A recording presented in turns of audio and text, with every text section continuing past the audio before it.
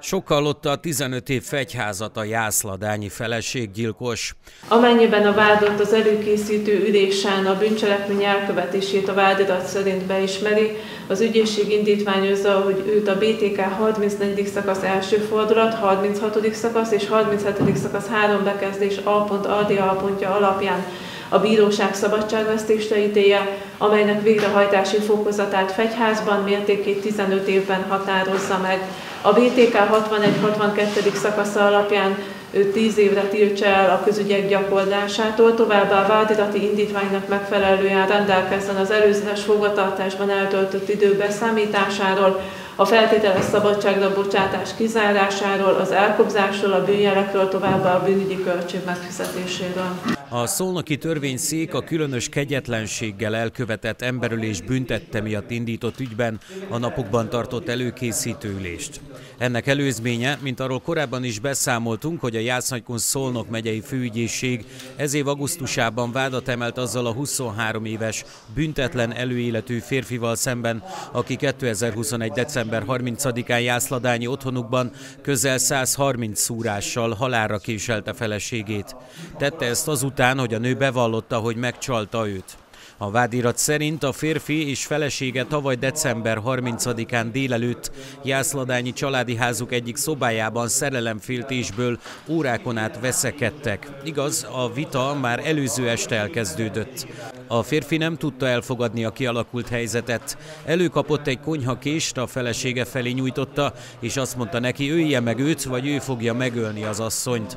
A nő a kést a férfi kezéből elvette és a földre dobta. A férj felvette azt, a feleségét a nyakán, majd testájékon összesen 128 alkalommal megszúrta. Közepes nagy erővel a nyaka erőső részén több alkalommal megszúrta, majd a szúrások következtében a föld első sértettet a teste erőső felső részén önmagából kivetkőzve további összesen mintegy 90 alkalommal megszúrta. Vádott ezt követően a sértettet a hasára fordította, és őt szintén közepes nagy erővel a derékvonaltól a tarkójáig a késsel hozzávertőlegesen 38 alkalommal megszúrta. A bántalmazás kezdetén a szúrások ellen még védekezett, amelynek során a bal keze tenyéri felszínén több metszet és szúrt sérülést szenvedett el.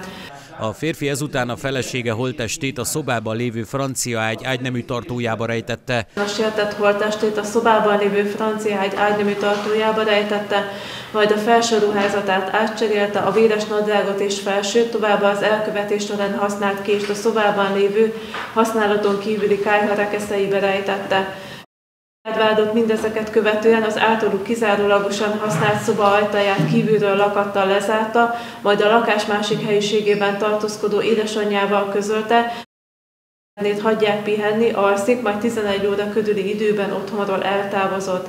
Délután 16 óra 30 perc körüli időben a sértet miatt már aggódó családtagok a lakatot lefeszítették, és az ágynemű tartóban lévő holtestet feltalálták. A nő halála a számos készszúrás okozta sérülések keletkezése után 25-30 perc elteltével következett be, mely idő alatt a nő sérülések száma miatt különösen nagy szenvedést, gyötrelmet élt át. Az ügyészség a vádiratában a büntetlen előéletű vádlottal szemben, amennyiben a bűncselekmény elkövetését az előkészítő ülésen beismeri, 15 év fegyházban letöltendő szabadságvesztésére tett indítványt.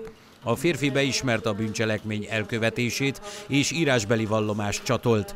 Az ügyészi ajánlatot azonban nem fogadta el, és a tárgyaláshoz való jogáról sem mondott le, így az eljárás 2023. február 21-én tárgyaláson bizonyítás felvételével folytatódik.